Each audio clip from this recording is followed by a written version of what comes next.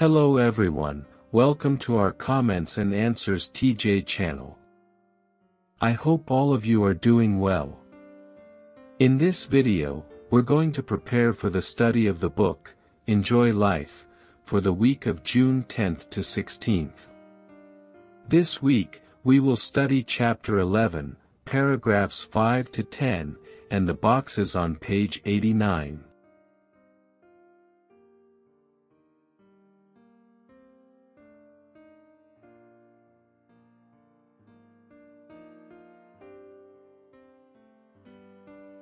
So, let's begin. Question 5. How did Barnabas and Saul preach in Cyprus? Barnabas and Saul traveled from Antioch to Cyprus. They first arrived in Salamis and preached in the synagogues.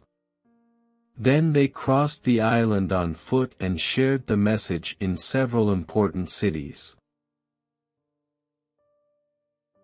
Additional comments Barnabas and Saul started by preaching in the synagogues of the Jews in Cyprus, as mentioned in Acts 13, 5. This initial approach shows their respect for local customs and their strategy to first reach the Jewish community with the gospel message. We learn that it's important to adapt our communication of the gospel according to the cultural and religious context of the people we are addressing, seeking points of connection to effectively convey Christ's message. Comments from Box on page 89. The Synagogues of the Jews. Synagogues are places where Jews gather to worship Jehovah and learn from him. Originally, the word simply meant assembly or gathering, but over time it was used to refer to the physical place where they held their religious meetings.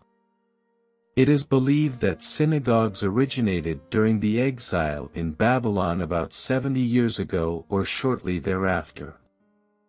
Jews went there to worship Jehovah, study the scriptures, and hear teachings.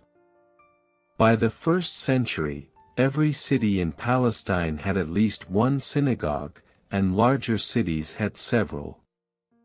In Jerusalem, there were many synagogues. After the exile, not all Jews returned to Palestine.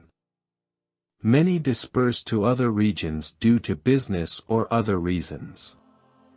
Since the 5th century BCE, there were Jewish communities in many parts of the Persian Empire.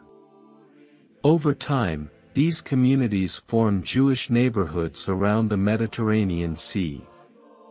Together, these scattered communities were known as the diaspora, and wherever they lived, they established synagogues to maintain their religious traditions. In synagogues, every Sabbath, the law of God was read and explained from a raised platform called the Bema, surrounded by seats on three sides. All faithful men had the opportunity to participate in reading the scriptures, in explanations, and in the speeches offered. This text shows us how synagogues were important centers of religious and community life for Jews outside of Israel. It also teaches us about the importance of gathering to worship God, learn from His Word, and strengthen faith in community. Question 6 and 7, Part A. Who was Sergius Paulus? Why did his counselor oppose the good news? Sergius Paulus was an important Roman official. His counselor, Bar Jesus, was a sorcerer who opposed the Christian message because he wanted to maintain his influence over Sergius Paulus. Additional comments In Acts 13, 6-7, Sergius Paulus is presented as an intelligent man who shows interest in the teachings of God. This indicates he had a receptive heart to hear the message of Paul and Barnabas. We learn that in sharing our faith, it is essential to be attentive to those who show genuine interest in learning more about God and be willing to respond clearly and lovingly to their spiritual questions and needs. In Acts 13, 8, Bar Jesus, also known as Elymas, actively opposed the kingdom message preached by Paul and Barnabas. As counselor to Sergius Paulus, he feared losing his influence if Sergius embraced the Christian faith. We learn that the power of the gospel can threaten power structures and false spiritual practices, and we must be prepared to face opposition when proclaiming Christ's truth. Question 6 and 7, Part B. What did Saul do to prevent Bar Jesus from extinguishing Sergio Paul's interest? Saul, also known as Paul, rebuked Bar Jesus with strong words and temporarily blinded him as a miracle. This impressed Sergius Paulus and led him to believe in the Christian message. Additional comments In Acts 13, 10-11, Paul, filled with the Holy Spirit, harshly confronts Bar Jesus and makes him temporarily blind as an act of divine judgment. This event shows Paul's spiritual authority and God's protection over those who sincerely seek the truth.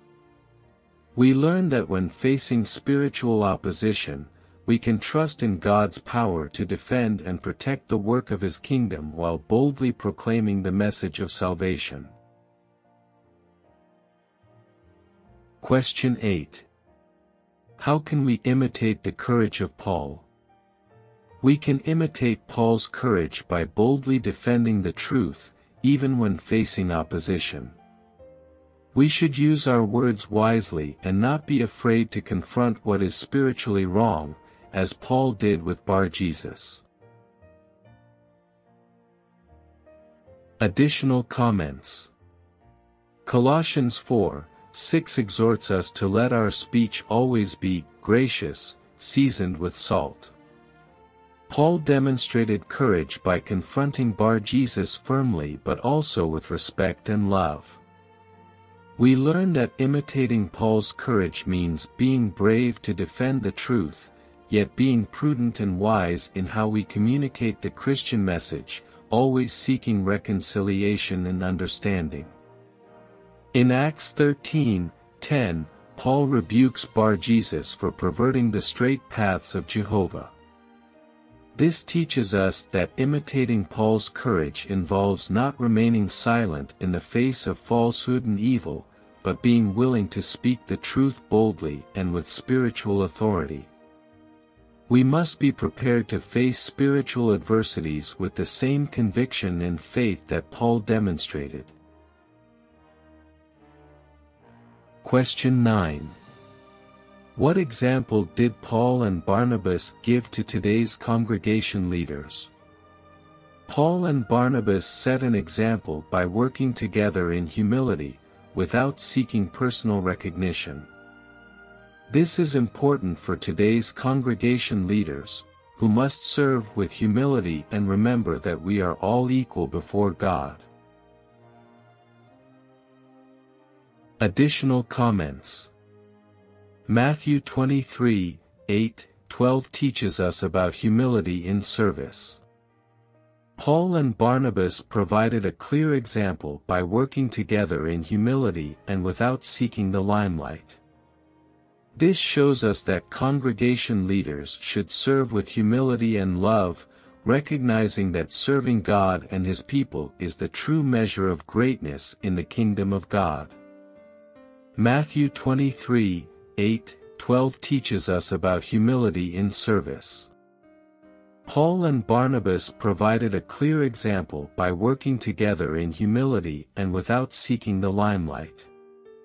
This shows us that congregation leaders should serve with humility and love, recognizing that serving God and His people is the true measure of greatness in the kingdom of God. Question 10. What was the journey like between Perga and Antioch of Pisidia? The journey between Perga and Antioch of Pisidia was difficult and dangerous. It included a mountainous region with robbers and was through elevated terrain. Despite these challenges, Paul and Barnabas continued their mission to spread the Christian message. Additional comments The journey between Perga and Antioch of Pisidia was difficult and dangerous, passing through a mountainous region with the risk of robbery. This physical journey reflects the difficulties and challenges that Paul and Barnabas faced in their mission to preach the gospel. We learn that following Christ can involve facing adversities and physical risks, but it also shows us the commitment and determination of the early Christian missionaries in spreading the faith. In Acts 13, 14, we see that John Mark decided to return to Jerusalem during the journey between Perga and Antioch of Pisidia. This teaches us about the importance of persevering and staying steadfast in the mission, despite challenges and changing circumstances. We learn that in our Christian life, it is crucial to remain faithful and committed to the purpose God has given us, even when facing unexpected difficulties. Well, those have been the practical answers about the congregation book study this week. I hope it will be very helpful to you, my dear brothers and sisters. Sending you a big hug, and may Jehovah bless and protect you always.